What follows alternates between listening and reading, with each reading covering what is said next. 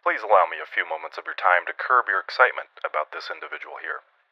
I want to show you a few photos of his mother. Exhibit A. Exhibit B. Exhibit C. And Mr. Musk himself.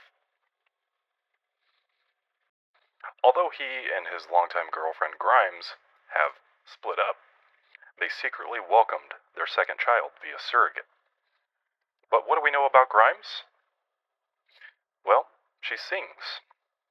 And I'm about to show you some very interesting lyrics from one of her songs. This song in particular can be found on YouTube, and it is called We Appreciate Power. Go ahead and pause. Here's page two. Go ahead and pause. And here's page three. Notice the bottom. Let's focus on the last part. You are currently considered a Neanderthal. You will transcend to a human being once you integrate. The idea behind their evolution is to kill the gene because she believes biology is superficial and weak, and intelligence is artificial. Yes, that's a play on words. Submit. These lyrics stand very strongly with incantations. Such a scary sight. Go watch the video. And here she is, in all of her glory.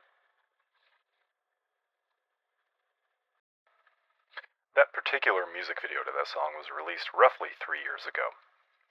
Don't think that this wasn't the plan all along, because it is, and it has been.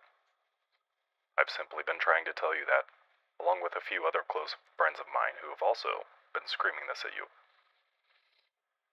Don't be so quick to look at somebody who seems to be playing on your side to take them as your side, when you can spend a few minutes of your time doing your due diligence, doing your research, but hopefully I've pointed you in the proper direction.